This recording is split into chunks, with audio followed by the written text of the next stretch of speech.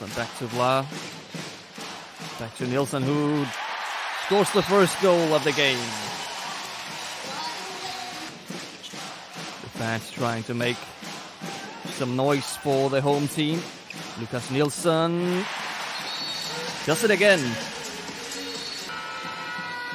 Great goalkeeper duo they had, Magdeburg.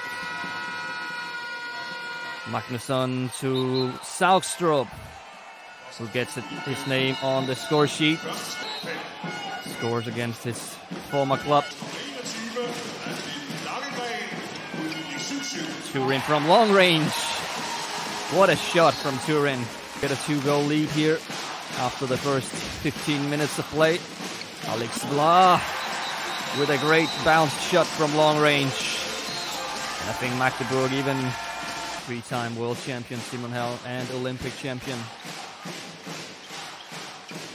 Lucas Nilsson with the fifth with his fifth goal of the game. Now it's 12-12.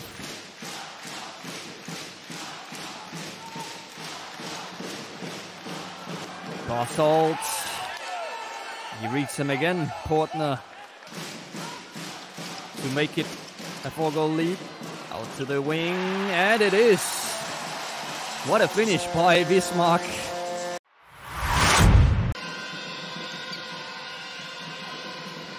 Lagergren finds Christiansen. And it goes in. Norsten is not satisfied letting that one Euros winning Swedish team in 2022. Lucas Nilsson with a fantastic goal from long range. What a game he's having. Seven goal, seven goals so far. Great underarm shot there from Christian O'Sullivan. Playing the ball around. It's Pearson with a lovely bounced shot. Now it's six versus six. Both teams with suspensions now. Christianson signaling passive play from Olvor. Hoxer bounces it in. A lot of pressure on Cinder now to convert this one.